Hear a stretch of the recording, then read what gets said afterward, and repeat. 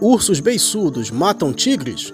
Esse realmente é um vídeo incrível. A cermelha desse urso, o urso do início é o Melursus, ou urso beiçudo. E aquelas imagens são de Ranthambore, na Índia. Ursos beiçudos e tigres se enfrentam constantemente naquele parque. Isso aqui nada mais é que uma questão de ângulo. O urso beiçudo não é maior que um tigre de bengala. Eles são muito valentes, principalmente as fêmeas. Entretanto, não têm condições de matar tigres. Podem espantar, dependendo da motivação do tigre. Se fosse um urso preto de 400 quilos, ainda assim perderia. O urso preto não é tão agressivo como o urso pardo pardo, 70% da alimentação é de matéria vegetal não caça tanto, e quando caça são pequenos mamíferos. Historicamente, os ursos sempre foram presas do tigre. Claro que o tigre prefere atacar os ursos menores. Ainda assim, ele está sempre na condição de caçador. No Japão, o urso pardo de Ussuri é presa do tigre de Amur. Esses animais travavam grandes batalhas na natureza quando eram recorrentes. Então, o tigre vence esse duelo.